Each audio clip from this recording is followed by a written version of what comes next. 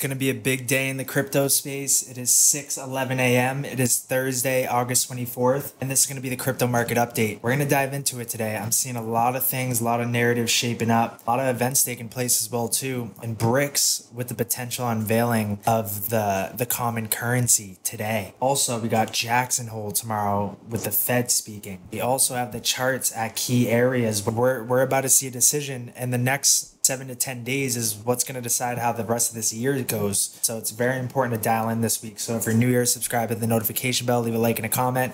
If you've been here, throw a star in the comments and let's get into it. And join the Discord. Link is going to be in the bio because I'm going to share an undercover gem entirely free. It just came on my radar and I, I can't believe it, but this could be huge. It's an undercover gem. I'm going to throw it in the Discord for free.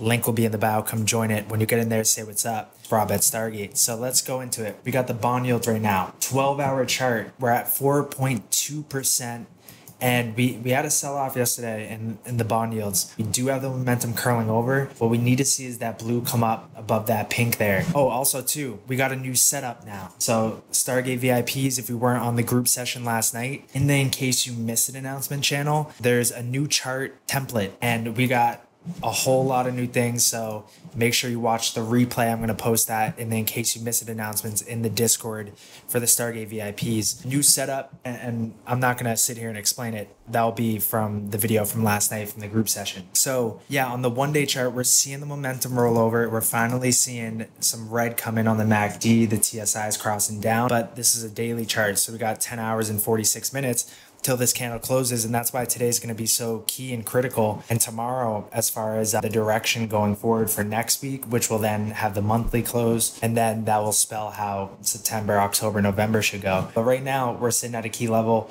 And if we pop up here, I would expect for us to get rejected around 4.44%. But right now, the momentum is coming down, which is solid. Then on the three day chart, it's starting to look like it's coming down as well, too.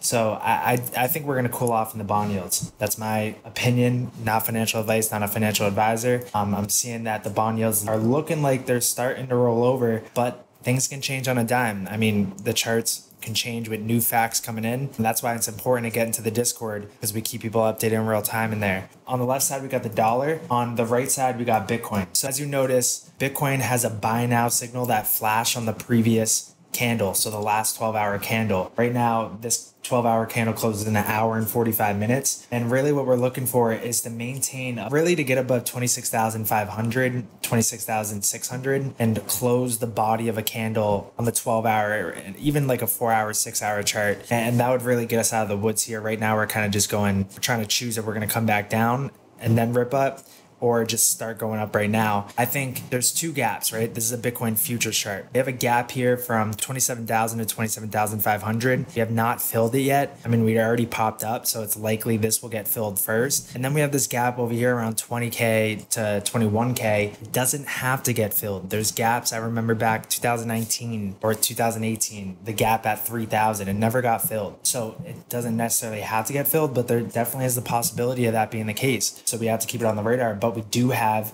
a gap here. It's more likely to get filled first because we already had a pop up, in my opinion. So that's what I'm watching as far as this goes. And I'm going to start getting a little cautious though when we get up to that level 27,500, 27,800, because we'd already filled the gap at that point. Just like back here, we had a gap, came up, filled it, and then rolled over one more time. So that's definitely a scenario that could pan out. Yeah, the blue moon coming up as well, too. A lot of things, a lot of things. So that's a Bitcoin future chart. But if we're looking at now the dollar, it's at the 786 again. It keeps testing it. So we kept finding rejection points since August 16th at the 786 from this high down to the low here. Rejection, rejection, rejection. We're at it again. And that level is 103.58. So we need to see us get rejected here. We're waiting for that four hour chart for the dollar to roll over, for this TSI to cross below that zero line. It's fighting for its life right now. It's fighting for its life. We haven't got that cross down yet. We really need to see that on the four hour chart for the dollar to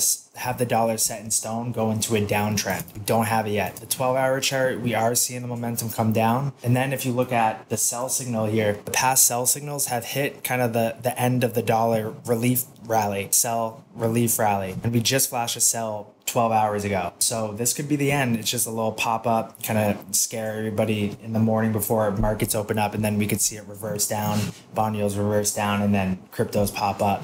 But uh, definitely remain vigilant because there's a lot of things that could be announced and stuff that could have this spike. You know, there's a lot of things going on. So it's very important to tune in to the Discord. The link is in the bio because anything that gets announced, anything that could have an effect on the markets, I'm going to be keeping people updated in there. But yeah, so that's solid that we have the sell signal. It's solid that we have the momentum coming over on the 12 hour chart, on the one day chart. But really, the four hour chart is what's going to set in stone us go into a, a steep downtrend, which that's what crypto likes when it goes into a steep downtrend and we flip the super guppy to red. And that's what we're just waiting on. Then if we look at the stock market, the stock market flash a one day buy now. We're at 15,324.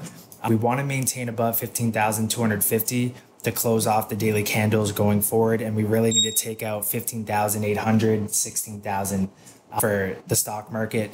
And we're in the hot zone. We're in the fib overlap zone. So really getting above the fib overlap zone of 16,000 holding as support is going to be key for the stock market. Then if we look at the stock market against Bitcoin, we're still heading up here, but we're, you know, we're at a level where we should see a rejection point and that could come just from Bitcoin having a nice strong rally out of here. Then if we look at the total crypto market cap, it got the 12 hour buy now signal. If we look at the daily chart, we're just waiting for that one day buy now signal on the daily chart. We haven't we haven't got it yet, but we do have the momentum starting to come up. But we got to be careful for any fake outs. So that's important to to keep an eye out for. And then the altcoin market cap, we got some long entry signals. We got the 12 hour buy now come in. If we look at the one day chart, there was no 12 hour, I mean, one day prepare to buy soon. So we got the 12 hour buy now. We have the Stoch RSI coming up. We need to see the pink get above the blue. We have the momentum coming up. But really, on the 12 hour chart, we need to get above that zero line, and we're kind of far away. So we could see a bounce up, but I would expect to come back down and then we can go if we're going to bounce up right now or roll over one more time and then go up. So that's what I'm watching there. And then if we look at the three day chart, if we can get that Stoch RSI cross up on the three day chart, then we're golden. Because then I think we'd clear above 350 billion and we'd rapidly move up. So I'm watching this on the total crypto, total altcoin market cap, seeing that three day Stoch RSI cross up, which will pull the TSI up, get above the zero line, and we're ready to kick it off. And if we look at the others dominance, we're in, we're in, or the market cap for the others, we're in the hot zone. So we need to clear above here around 117 billion. Bitcoin dominance is teetering on the edge. We have that trend line. We're at it right now. We have two week prepare to sell soon signal. We have the momentum coming over.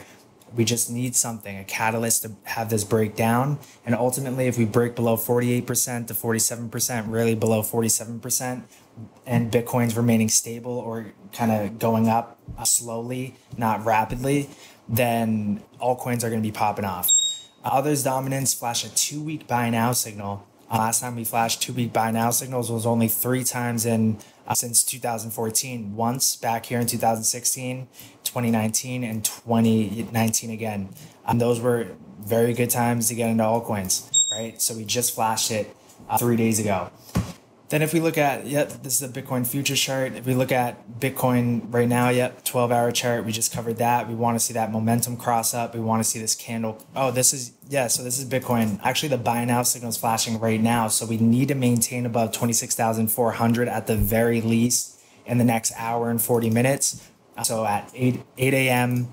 Uh, New York time, Eastern Standard Time, we need to see this have that buy now signal flash Last time we had that after a, a big dip, we went sideways for like a day or two, and then we ripped up over the weekend. So we'll see if that could be the case right now. That if we could go sideways, and then altcoins can kind of start to uh, hop up, that will give us a telltale sign that Bitcoin may be just lagging behind the altcoins. So that will be the telltale sign. If the altcoins are popping up, um, Bitcoin just going sideways like that, then it's gearing up for a move like that. If we look at XRP, and we go to the three day chart, XRP super close to a massive move, but we need to hold 50 cents, 49 cents is a line in the sand, but really 50 cents. And honestly, I, I don't even want to see us break below 51 and a half cents. We're, look at the three day chart, right? So if I pull this up, you know, best times to sell, best times to sell, best times to buy, right? We're right here. How long do these usually last? they last, you know, when we get down here, 18 days. This one, 18, 15, 18 days. This one, 15 days.